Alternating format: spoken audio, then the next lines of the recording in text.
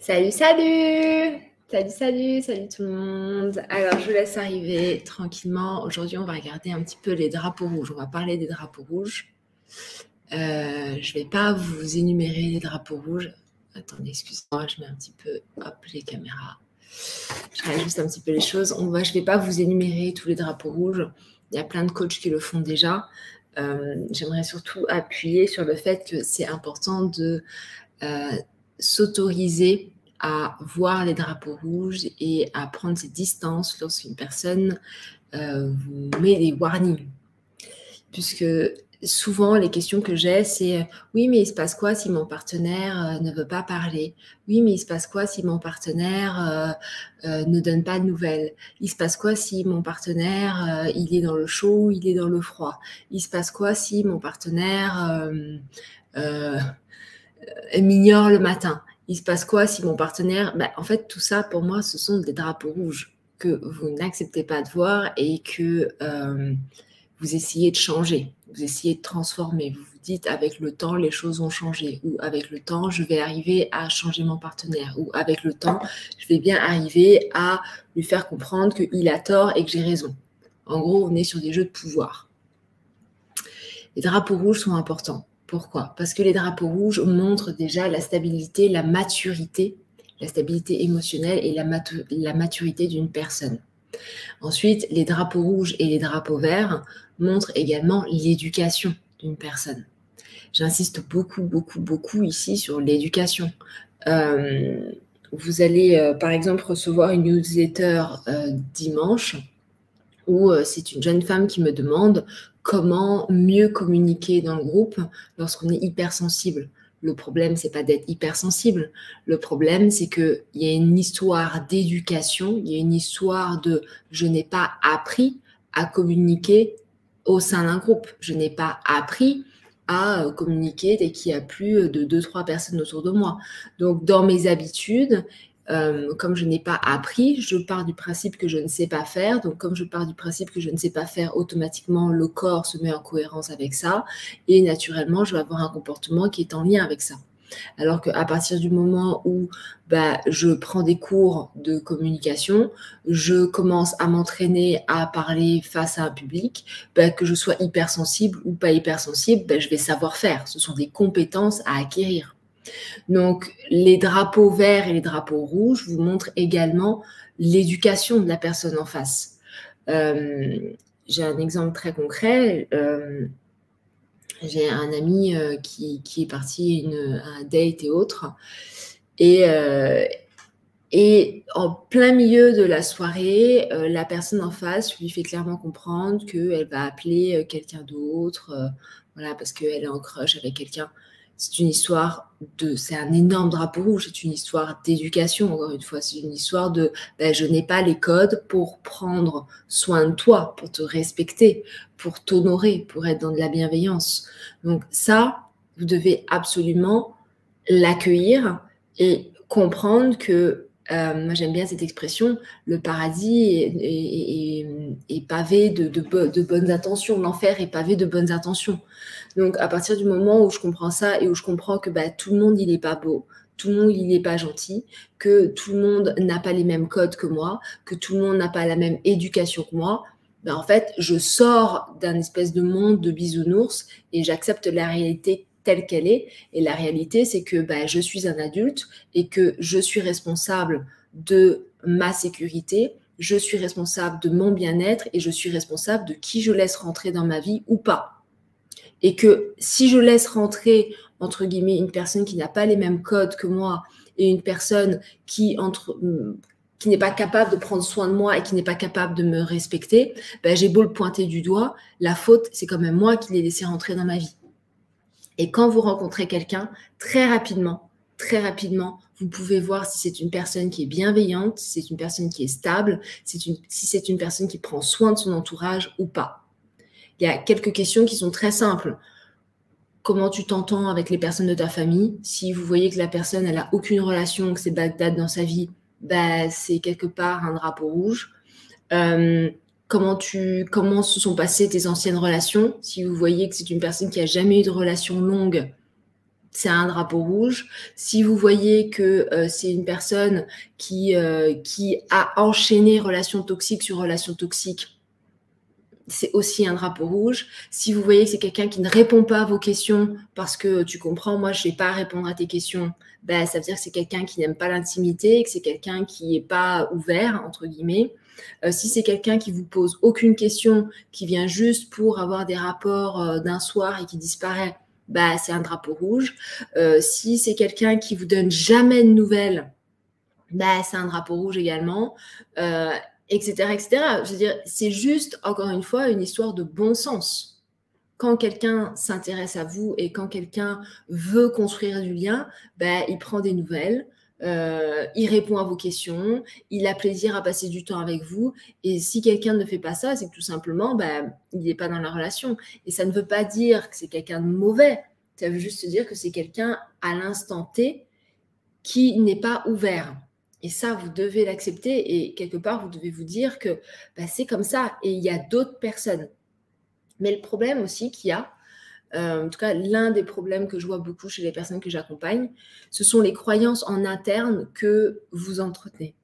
Par exemple, c'est l'homme de ma vie.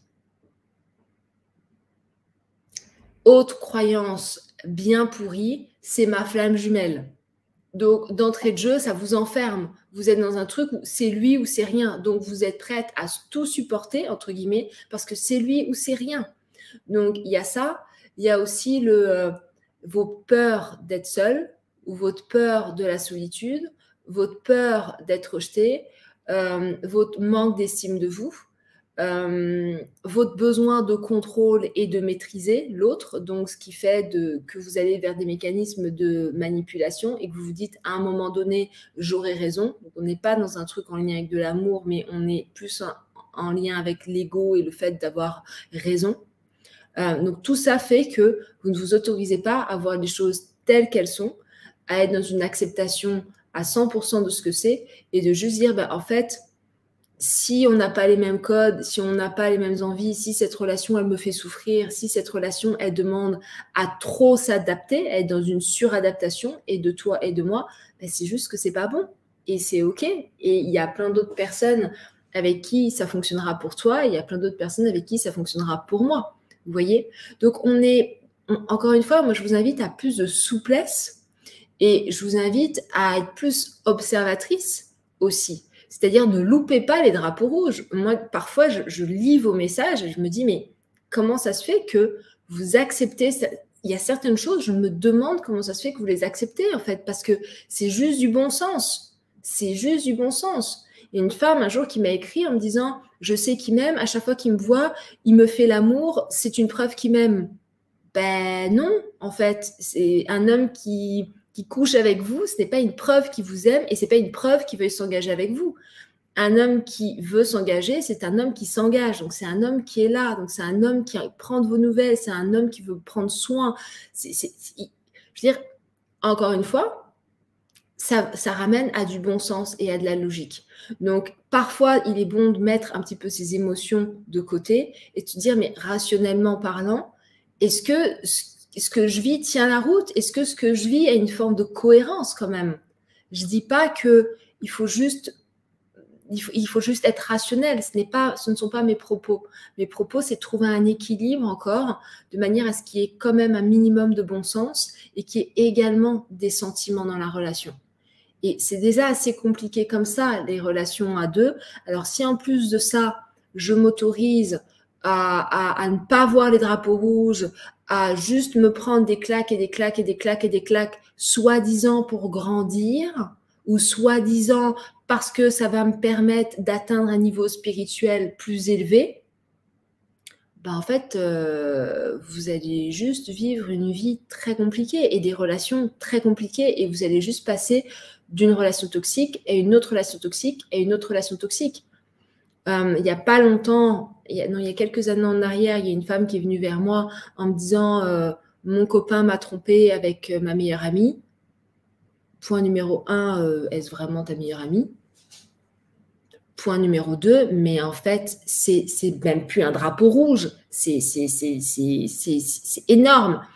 Mais non, derrière, il y a aussi ça. C'est quand on fait du développement personnel, très souvent, je tombe sur des femmes qui ont lu plein de trucs sur les blessures, sur les liens d'attachement et autres, et qui du coup trouvent des excuses pour justifier ce que fait l'autre. Non, mais tu comprends, il vit une passe difficile, et puis euh, ses parents, ça a été compliqué, il a été abandonné, etc. Mais vous n'êtes pas là pour guérir le monde, en fait. Vous n'êtes pas là pour sauver l'autre. Et vous êtes encore moins ni sa mère, ni son infirmière, ni son coach, ni son thérapeute. Si l'autre veut se prendre en main, bah, qu'il se prenne en main. Mais ce n'est pas à vous de prendre cette responsabilité-là. Parce qu'en fait, vous ne faites qu'aller droit dans un mur. Et bien évidemment, moi, je me suis permis de lui dire ça sous son autorisation. Et quelques années hein, après, elle est revenue en me disant, bah, en effet, tu avais raison. Parce que, parce que elle ne voulait pas voir les drapeaux rouges. Elle ne voulait pas voir les choses telles qu'elles étaient. Ce qui se passait, c'est que, en fait, face à elle, elle avait une personne qui était en insécurité complète émotionnelle, une immaturité, avec un manque de nourriture affective pendant son enfance, et qu'aujourd'hui, bah, soit il se prenait en charge et c'est très bien pour lui, soit il se prenait pas en charge et c'est très bien pour lui également. Mais c'est à vous de poser vos limites et c'est à vous de vous sécuriser et c'est à vous de vous protéger. Et il n'y a rien de mal à dire, bah, en fait, je sens que cette personne-là, elle ne me correspond pas. Il n'y a rien de mal avec ça. Et, et encore une fois, souvent on entend, et moi je suis la première à dire faites attention au jugement. Le jugement, c'est ça c'est bien, ça c'est pas bien, ça euh, c'est mauvais, ça c'est mal. Faites attention à ça parce que ça vous enferme. Mais maintenant, ayez le sens du discernement. Ayez, gardé le sens du discernement. Cette personne ne me convient pas. Elle est comme elle est, elle est parfaite comme elle est, elle a ses choix de vie, que je respecte, mais je fais preuve de discernement et je choisis de ne pas la laisser rentrer dans ma vie. Parce que ça ne me correspond pas, parce que ça me blesse, parce que ça vient toucher des blessures chez moi d'enfance que je n'ai pas envie de revivre, parce que euh, ça ne m'aide pas à m'épanouir. Donc c'est OK d'avoir ce sens du discernement et de le cultiver mais en aucun cas juste, euh, juste accueillir personne, tout le monde parce que euh, bah, il est blessé, il est machin. Ce n'est pas votre rôle de soigner l'autre. Ce n'est pas votre rôle de prendre en charge l'autre. Prenez-vous déjà vous en charge et prenez soin de vous. C'est déjà énorme. Et ensuite, vous allez voir que naturellement, vous allez pouvoir laisser rentrer dans votre espace des personnes qui, elles aussi, prennent soin d'elles, qui, elles aussi, sont bienveillantes et pour le coup, sont aptes à prendre soin de vous également. C'est. Moi, j'entends plein de choses dans, le développement personnel et je ne dis pas que c'est vrai ou je ne dis pas que c'est faux. je dis juste que j'entends des choses qui, pour ma carte du monde à moi, ne font qu'entraîner plus de souffrance le truc de c'est l'homme de ma vie, euh, ça me fait souffrir, alors ça me fait grandir ou ça me permet de me développer. Est-ce qu'il y a réellement besoin de ça? Là, c'est plutôt à questionner votre côté maso. J'ai besoin de souffrir pour évoluer. Là, ce serait bon d'aller voir ça. Parce que moi, j'ai pas besoin de ça pour évoluer. Je, passe mon temps à me pousser, je passe mon temps à, justement à avoir des amis qui sont bien plus intelligents que moi, qui sont bien plus cultivés que moi, qui ont, qui ont vraiment un savoir-vivre et qui justement me poussent à aller vers de l'avant. Mais je ne suis pas dans quelque chose qui me fait souffrir. Donc là, ce serait bien de vous, si vous êtes dans une relation en vous disant ça me fait souffrir et du coup ça me fait grandir, bah, questionnez-vous sur votre côté maso. Il y a quelque chose de maso. Et encore une fois, je ne le dis pas avec du jugement. Prenez juste conscience de ça. Mettez juste de la conscience. De manière à pas vous mentir, encore une fois. Ok Bon, ça fait déjà 14 minutes que je fais mon blabla. Est-ce qu'il y a des questions? Je vais regarder un petit peu sur Instagram. Est-ce qu'il y a des questions, les amis? Ouais, il y, a, un truc avec le fait de vouloir sauver l'autre. Donc, il y a, il qui me dit j'ai toujours été dans, ou j'ai longtemps été à vouloir euh, la personne qui sauve l'autre. Mais l'autre ne vous a rien demandé, entre guillemets. Et même si l'autre vous demande, il y a un truc aussi, c'est quand vous rencontrez une personne et qu'il y a un drapeau rouge, un énorme drapeau rouge, Donc, premièrement, on communique. On communique sur ce qui se passe. Et attention, il y a le petit, il y a le drapeau rouge normal euh, du euh, bah, il m'appelle pas, par exemple, euh, il m'appelle pas, il prend pas de nouvelles. donc là, c'est Hello, il se passe quoi? Est-ce que tu as envie d'une relation? Est-ce que tu n'as pas envie d'une relation? J'ai pas tes nouvelles, donc j'aimerais bien qu'on fasse un petit peu le point par rapport à ça, histoire de savoir si on a les mêmes envies ou pas, encore une fois. Et si on n'a pas les mêmes envies, ben, c'est OK, mais au moins je le sais et on ne se raconte pas des histoires. Donc il y a la conversation autour du drapeau rouge. Et si vous voyez que la personne, elle se réajuste, bah super. Ça veut dire que la personne, elle tient à vous, elle a la volonté que la relation fonctionne, elle se réajuste. Si la personne dit oui, oui, oui, et puis au final, elle fait rien, ben, c'est un double drapeau rouge. Donc ne l'ignorez pas en fait. C'est que la personne, elle dit oui, oui, mais elle ne le fait pas. Il y a une incohérence. Donc, ça veut dire quoi? Ça veut dire que si ça ne fonctionne pas et que si ce comportement vous rend malheureuse et que si ça ne correspond pas à ce que vous voulez et, ben, partez, vous n'êtes pas un arbre, entre guillemets, partez, vous faites le deuil et vous allez rencontrer quelqu'un d'autre. Euh, ça, c'est pour les, drapeaux, j'ai envie de dire, ordinaires. Mais si la personne commence à vous tromper avec plein de gens, alors ça dépend, encore une fois, est-ce que vous aviez clarifié la relation? Est-ce que vous étiez vraiment dans une relation ou est-ce que vous étiez en phase de date où, euh, entre guillemets, rien ne s'était vraiment dit et rien n'était clair? Parce que si rien n'était clair, bah, c'est le moment de clarifier. Super j'ai pris conscience que tu voyais quelqu'un d'autre. Bon, on est est où? On a envie d'être ensemble, on n'a pas envie d'être ensemble, on est un, couple libertin, tu es quelqu'un libre. Encore une fois, c'est une merveilleuse opportunité de clarifier des choses. Par rapport à ce que la personne vous dit, ben non, moi je suis pas en couple, j'ai envie de m'amuser, ah, moi j'ai envie d'être en couple, j'ai vraiment envie d'être avec toi, super. Donc on clarifie les choses. Si vous avez clarifié les choses et l'autre va voir ailleurs, c'est un énorme drapeau rouge. Donc après, c'est à vous de voir si vous voulez pardonner et passer au-dessus, ou si vous voulez, encore une fois, vivre autre chose, donc terminer la relation et vivre autre chose. Mais il y a toujours besoin d'avoir une conversation ouverte sur ce qui se passe et de voir derrière quel est le comportement de l'autre. Est-ce qu'il y a un réajustement ou pas? Et s'il n'y a pas de réajustement, ben, ça veut juste dire que ben, il est peut-être temps de faire le moonwalk c'est-à-dire normaliser l'idée que si la personne en face est toxique, vous pouvez partir. Si la personne en face ne vous respecte pas, ben, vous pouvez partir. Il n'y a rien d'acquis. Et il y a de l'abondance, j'ai envie de vous dire. Donc, enlevez-vous cette idée que c'est la personne et personne d'autre, déjà, dans un premier temps. Et dans un deuxième temps, si vraiment la relation vous fait souffrir, si vraiment elle est douloureuse, si vraiment ça ne répond pas à vos attentes, ben, faites le deuil et partez. Mais n'essayez pas de changer l'autre. N'essayez pas de, vous raconter des histoires qui vont vous faire plus souffrir sur du long terme. OK? Et là, bien évidemment, quand je vous parle de drapeau rouge, je vous parle du début de la relation. Je ne vous parle pas d'une relation qui a duré 10 ans, 15 ans, 20 ans, 30 ans, où c'est encore autre chose. Parce qu'il y a, y a les histoires, parce qu'il y a des engagements, parce qu'il y a les, enfants, parce qu'il y a tout l'historique. Donc, c'est autre chose. Mais là, je vous parle vraiment de relations quand on est en phase de rencontre. Ne loupez pas les drapeaux rouges. Si vous loupez les drapeaux rouges, si vous vous permettez de ne pas voir les drapeaux rouges, je vous garantis, je vous garantis que vous allez droit dans le mur et que le choc sera violent. Je vous le garantis. Parce que c'est juste, c'est juste rationnel c'est juste d'une logique absolument incroyable. La personne, elle vous montre un mécanisme. Elle est en train de vous montrer un mécanisme. Vous savez à quel point c'est compliqué de changer un mécanisme. Donc, est-ce qu'elle a réellement la volonté de le changer, ce mécanisme, ou pas? Et justement, le fait d'avoir une conversation claire et de voir si la personne, elle se réajuste ou pas, ben, ça vous montre cette capacité-là. OK? Alors, euh, on va pas aller plus loin pour aujourd'hui puisqu'on est déjà à 20 minutes. Euh, alors il y a Anne qui nous dit très rapidement, euh, le problème c'est la peur d'être seule qui nous emmène à réfléchir et à espérer que. Ben, accepter d'être seule.